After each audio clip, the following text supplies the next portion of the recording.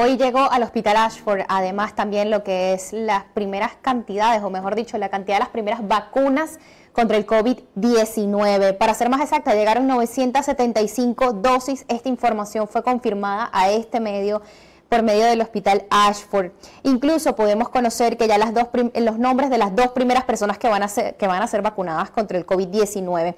¿De quién se estaría hablando? De la terapista respiratoria Yaira Alicea, quien atendió a la primera paciente COVID-19 confirmada hospitalizada en Puerto Rico. Y también se le administrará la vacuna al doctor Manuel Velilla, quien es miembro activo mayor de edad de esa facultad médica es una invitación formal a que usted se mantenga al tanto de todos los detalles que se relacionan el tema no solo de la llegada de las vacunas del COVID-19 a Puerto Rico, sino que llegaron sorpresivamente también al Hospital Ashford, por lo que los medios no pudieron encontrarse en el lugar al momento de recibir este primer cargamento o estas primeras dosis de vacunas contra el COVID-19. Esto ocurrió hoy es 14 de diciembre a las 11 de la mañana. La Guardia Nacional de Puerto Rico se encargó de llevarlas al hospital Ashford. Además de eso, el hospital Ashford es reconocido además como un hospital de vanguardia con una facultad médica y personal y profesional